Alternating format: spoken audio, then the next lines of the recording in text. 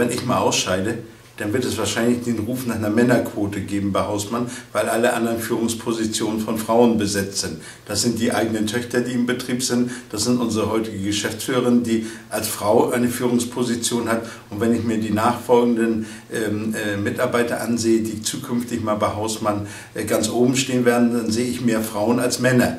Also äh, für Hausmann selber sage ich, ist das überhaupt gar kein Thema. Generell ähm, würde ich mir mehr wünschen, dass äh, Frauen in Führungspositionen sind, aber einfach durch ihre Art und durch ihre Leistung und durch ein Umdenken in der Organisation und nicht, weil der Gesetzgeber aus irgendwelchen Gründen eine Frauenquote vorschreibt. Ohnehin ist meine persönliche Meinung, werden viele Frauen zukünftig Männer überholen und einfach automatisch aufgrund ihrer Ausbildung, aufgrund ihres, ihres, ihres sozialen Wesens äh, Führungspositionen besetzen, unabhängig davon. Es soll immer der oder die Beste oben stehen. Und das muss für das Unternehmen wichtig sein. Wenn es ein Mann ist, ist es gut. Und wenn es eine Frau ist, ist es genauso gut. Also per Quote nicht, sondern per Qualität und Leistung. Was denken Sie denn, warum so wenige Frauen in Führungspositionen sind, auch in der Immobilienwirtschaft? Kann nicht in die einzelnen Betriebe hineingehen. Ich kann nur ähm, Unternehmern raten, äh, in einem fairen Wettbewerb denjenigen an die Spitze zu stellen, der dafür am befähigsten ist, der vom Team akzeptiert wird. Und das ist für mich das Wichtigste. Welches Geschlecht oben letztendlich ein Unternehmen führt, ist sekundär. Viel wichtiger ist, dass die Akzeptanz da ist, dass das Team erkennt, da oben steht der Beste oder die Beste, die uns als Team auch führt. Dafür, dahin müssen wir kommen. Also vor oben müssen die stehen, die einfach die Qualität haben und wo man die Qualität akzeptiert und sie dadurch eben in Führungspositionen bringt. Egal ob Mann oder Frau. Muss sie sich denn dann noch verändern? Sie sprachen vorhin ja, Ihr Unternehmen stellt sich auch auf soziale Belange ein, äh, macht alles möglich.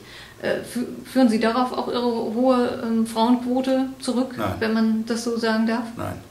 Nein, ähm, ich denke, es ist im Kopf. Es ist, es ist der Kopf eines Unternehmens und deshalb ist es schwierig, in einem Konzern so etwas durchzubekommen, weil ich glaube, von oben herab muss dies, muss dies vorgelebt werden, es muss kommuniziert werden, es muss einfach auch bei den Mitarbeitern oder bei den Frauen das Gefühl entstehen, ich bin nicht, und deshalb sagte ich, ich bin gegen die Quote, ich bin nicht dank Quote oben in einem Führungsgremium. Äh, die Männer klopfen sich auf die Schultern. Wir sind acht und haben äh, acht Leute im Vorstand und haben zwei Frauen und sagen, 25 Prozent haben wir schon. Das ist nicht das, das kann nicht gewollt sein.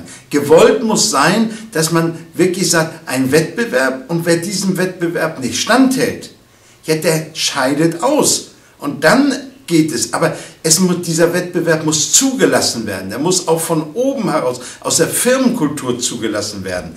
Äh, der, ich kann keinen Kraftprotektion nach oben bringen. Das ist eigentlich die mindere Qualität. Und wir haben immer noch in vielen Unternehmen, und das stelle ich immer wieder fest, man hat die richtigen Verbindungen, man hat die richtige Ansprache, man ist rund, glatt, pflegeleicht.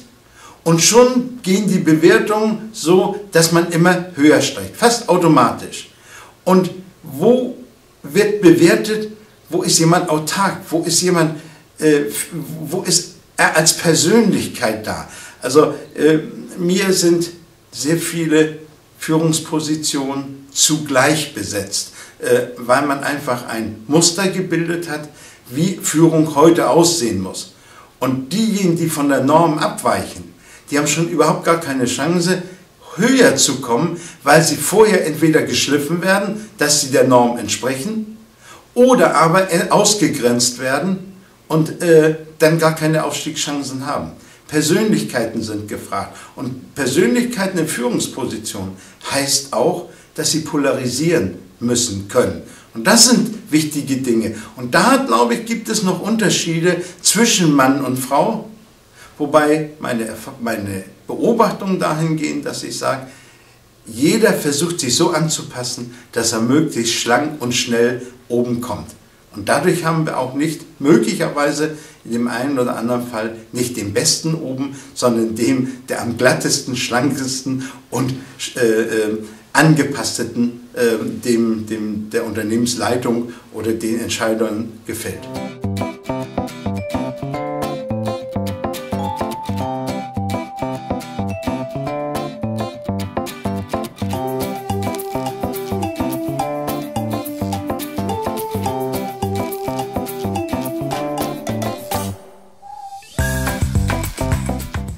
Also im Moment sehe ich noch kein großes Umdenken. Ich denke, es ist alles noch nicht so dramatisch, ähm, dass man Paradigmen verändert.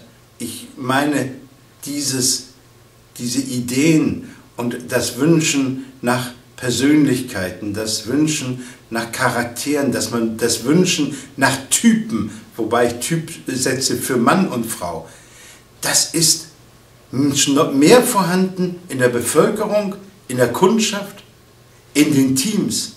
Teams wollen Typen oben haben, wenn die, es, wenn die das Team verstehen.